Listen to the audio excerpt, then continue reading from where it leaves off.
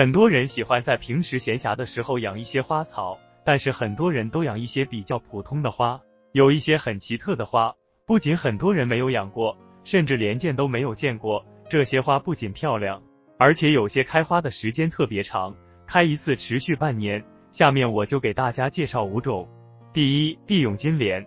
地涌金莲是一种热带花，它属于芭蕉类的植物，叶片和香蕉树非常相像，但是开花却惊艳无比。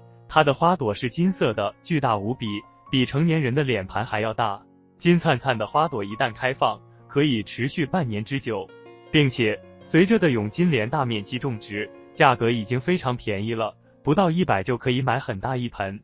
第二，飞花玉。飞花玉是一种仙人掌科的植物，平时养起来特别不起眼，但是如果你见到它的开花，就完全不会这么认为了。它的花朵十分鲜艳，花朵的形状很漂亮，并且平时养护飞花玉也十分简单，只用把它养在光照充足的地方，哪怕不怎么浇水，它也可以正常生长和开花。第三，帝王花，帝王花是非常罕见，国内几乎很难看到，只有在云南等地。可以见到少量从南非进口的帝王花，它是一种巨大的花卉，花朵形状奇特，缤纷多彩。一旦开放，可以持续几个月之久，并且它也很适合用作鲜切花。国外的鲜切花市场上，帝王花被人称作最高贵的花卉。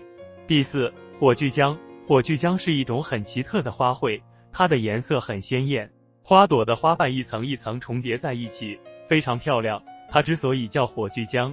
除了它本身长得像火炬一样，还有一个原因就是它是来自姜科的植物，所以它的花朵有着一股淡淡的生姜味道。不过这种植物的花期不是特别长，一般开放一个月左右就凋谢了。第五，令箭荷花。令箭荷花本身开花的花量并不算大，但是市面上有不少令箭荷花是嫁接在仙人掌上的。仙人掌强大的养分传输能力，让令箭荷花的开花能力大大增强。